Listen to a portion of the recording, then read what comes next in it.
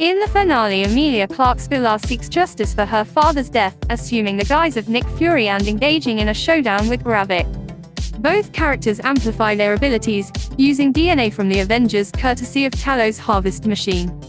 However, the climactic battle, while significant, lacks the creative flair one might hope for. Instead it largely devolves into a straightforward hand-to-hand -hand combat sequence, hinting that budget constraints may have limited the spectacle. Indeed, our heroes possess remarkable physical attributes, drawing from the likes of Abomination, Hulk, Drax and Korg, among others. Yet, it's Bilar who taps into the full range of Captain Marvel's powers, making her the most formidable hero in the MCU.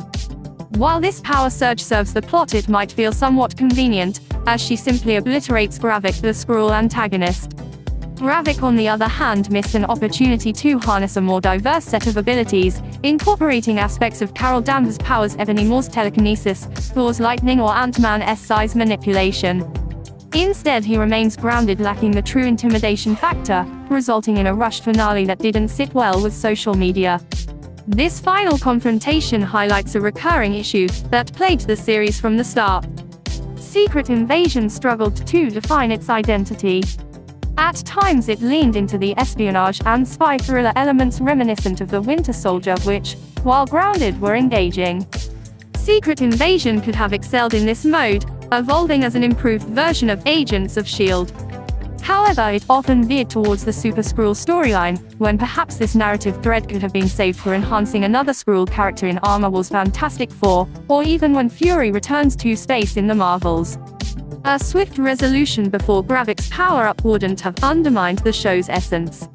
It could have demonstrated Bilar's skill as a cunning mastermind keeping true to her shadowy operations akin to Talos, maintaining a lower profile on the global stage. Nevertheless Secret Invasion seemed determined to follow the movie formula with an explosive final battle, a choice that feels somewhat forced and out of place. Once more, this approach dilutes the series' subterfuge theme and grounded nature qualities that held the promise of making Secret Invasion something unique. Ultimately, the final battle compounds the show's issues, reminiscent of She-Hulk Attorney at Law and even Hawkeye.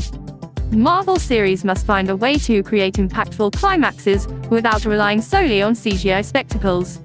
This challenge isn't exclusive to the MCU, but extends to DC as well. It's about striking the right balance between style and substance a balance that Loki achieved admirably with a less spectacle-heavy confrontation between Loki and Sylvie facing He Who Remains. Regrettably Secret Invasion underscores that this balance remains elusive and disappointingly falters, with its concluding act. Hope you have liked the video thanks for watching.